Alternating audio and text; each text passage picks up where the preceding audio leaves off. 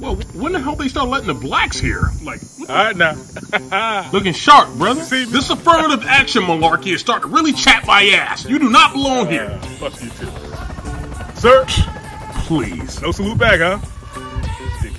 Big drill. Them boots looking good, Hey baby. man, trying to be like you, baby.